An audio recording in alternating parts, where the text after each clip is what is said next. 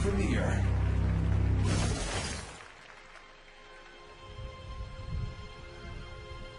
What if the story of America was not the one you knew?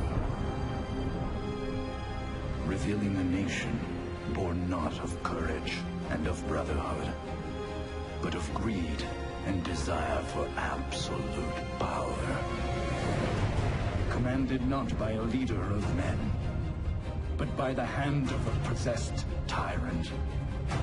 A constitution built atop the blood and ashes of the innocent. An empire fed only by war and death. One crown.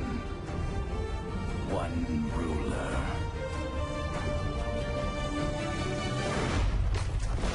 one man to stop King Washington.